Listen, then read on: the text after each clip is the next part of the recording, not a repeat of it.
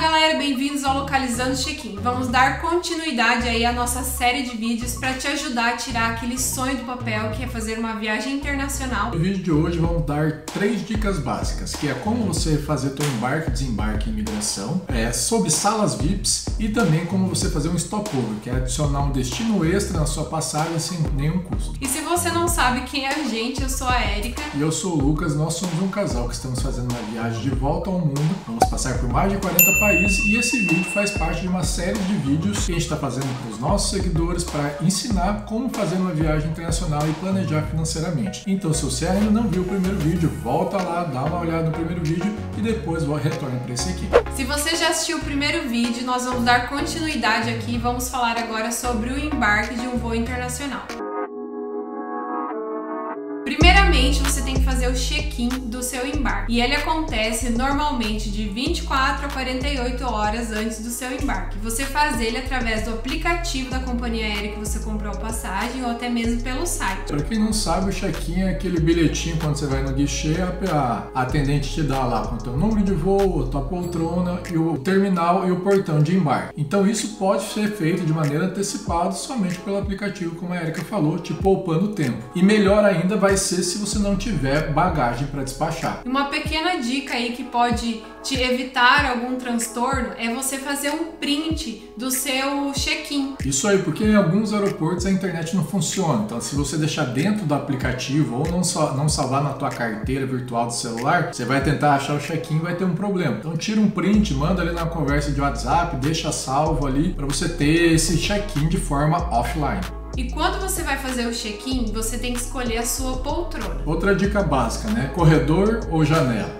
Eu prefiro janela, porque nem é só pela vista, é por ter onde apoiar a cabeça e conseguir dormir melhor ali. Outro detalhe que é mais importante é você tentar pegar o máximo na frente possível a sua poltrona, porque às vezes não parece, mas num avião tem muita gente. E dentro de um aeroporto internacional que tem vários aviões, a fila da imigração pode ficar muito grande. Então você estando lá no fundo do avião, quando chega na imigração, você pode esperar duas, até três horas numa imigração, perdendo tempo. Então você escolher um lugar na frente, sair antes pode te poupar muito tempo e você aproveitar melhor o teu destino. Falando em check-in com antecedência, a gente vai falar agora também para você chegar com antecedência no aeroporto. Ainda mais se você estiver fazendo uma viagem aí em época de férias. O aeroporto fica lotado, então a nossa orientação é que você chegue com no mínimo 3 horas de antecedência para evitar algum transtorno e até mesmo perder o seu voo. Até porque quando você vai passar pelo raio-x, normalmente as filas são grandes. Então, a nossa orientação é chegue com antecedência. Até mesmo nessa época de férias pode dar algum problema na tua passagem, dar um overbooking, que a empresa não ter mais um lugar para você viajar. Você chegando antes indo no guichê, provavelmente você vai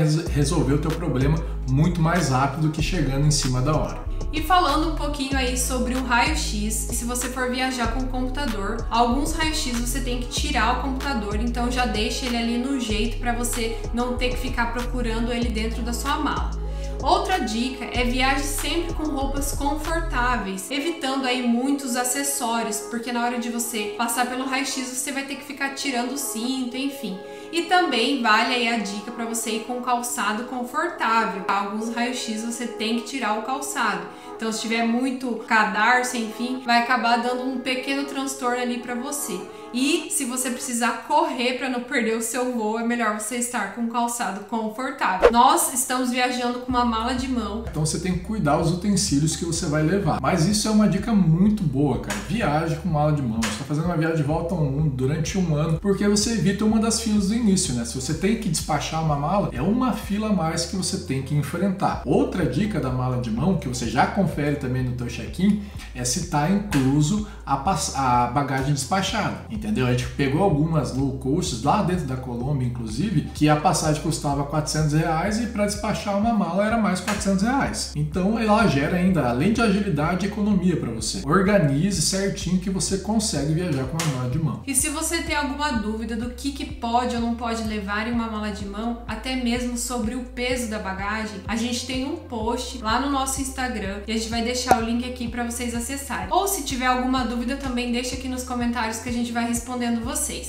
Mas beleza, você não quer fazer mala de mão, gosta de despachar, uma dica adicional que eu posso dar também é você personalizar a tua mala. Às vezes a tua mala é preta, é como igual aos outros, então coloca ali algum lacinho, coloca uma fitinha, fitinha algo que identifique ali para não gerar confusão e você perder a mala. Isso é outro problema também de despachar a mala. As companhias mandam sua mala para o lugar errado, dá dor de cabeça, quebra ela. Cara, vai na mala de mão, confia em nós que ó, é a melhor coisa do mundo. Aí, aí agora eu vou para um assunto que perguntam muito, né? Que é as salas VIPs, né?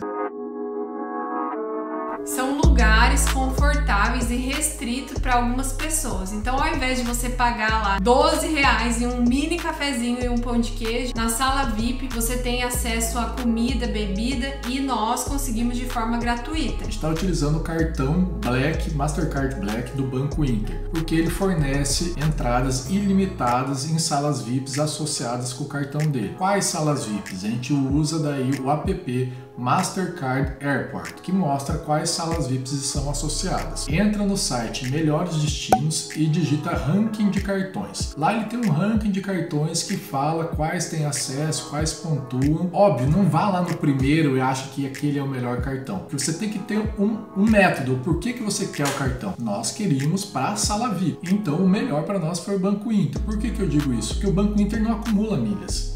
Só que daí para milhas eu tenho outro cartão. E sobre milhas, como eu falei lá no primeiro vídeo, dá uma olhadinha lá no nosso vídeo de como acumular milhas de verdade que você vai entender melhor. A sala VIP, caso você não queira ir atrás de cartão, não, tenha paciência, isso aquilo, você pode entrar.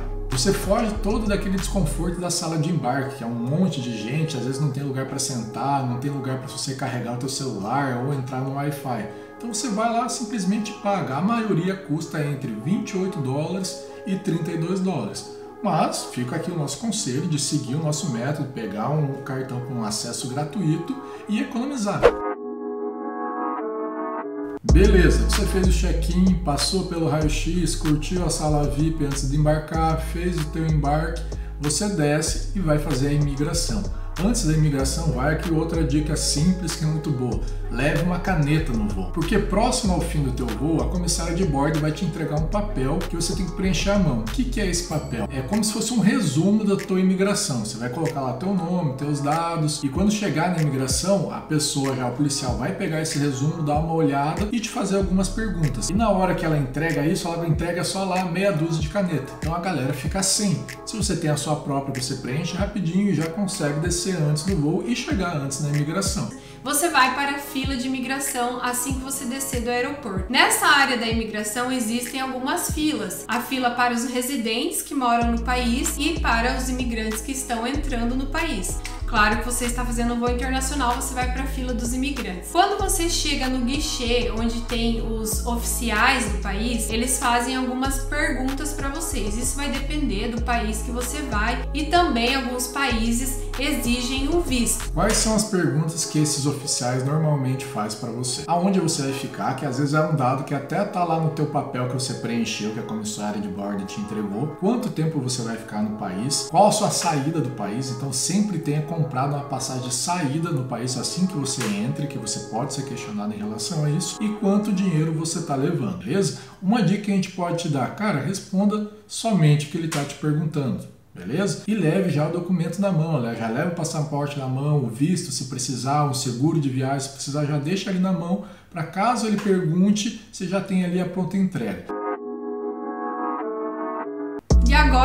Falar de algo bem interessante que pode acrescentar aí um destino na sua passagem que às vezes você nem estava imaginando em conhecer, que é o stopover. E o que é um stopover? Vou usar um termo errado aqui, mas mais fácil para você entender. É como se fosse uma conexão longa. Vamos supor que você está indo lá para as Maldivas com a conexão no Catar. Você vai ter que ficar duas horas lá no Catar ou dez horas. Isso não é stopover. Isso é uma conexão curta, se for duas horas, ou uma conexão longa, se for dez horas. O que, que você consegue fazer com stopover? É você ficar um dia, dois dias, três dias nessa cidade que você vai fazer a conexão. Aí assim você consegue conhecer essa cidade. Não viaje para o Catar, não viaje para Lisboa, porque esses dois destinos são destinos muito bons para você fazer um stopover. Vou te dar aqui um exemplo prático. Normalmente quando você compra uma passagem para Maldivas saindo do Brasil, ou ela vai fazer uma parada em Doha ou fazer uma parada em Dubai. Aí o que, que você consegue fazer? Comprando uma passagem de ida e volta, você coloca na ida, parar três dias, dois ali em Dubai ou Doha para conhecer um pouquinho a cidade. Isso aí, a sua passagem não tem nenhum custo adicional para fazer esse stopover. A maioria das companhias aceitam stopover sem custo adicional nenhum. A gente vai fazer uma publicação ali no Instagram para você saber quais companhias você consegue fazer isso gratuitamente. Vamos deixar o link aqui na descrição do vídeo. E se você gostou desse vídeo, não esquece de deixar o seu like, já se inscreve no canal, já assiste a parte 1, a parte 2, porque tem mais conteúdo por vir. Inclusive, no próximo vídeo a gente vai contar para vocês como que a gente organiza o nosso roteiro, otimizando o nosso tempo, também dando dicas de como encontrar bons restaurantes, bons passeios e até descontos em algumas atrações. Até o próximo vídeo.